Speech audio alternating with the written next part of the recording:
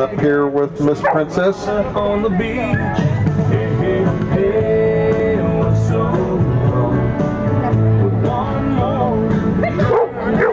This dog first started out jumping, jumping like four feet here back in Folsom, and now it's getting way out there. This is going to be a lot farther jump.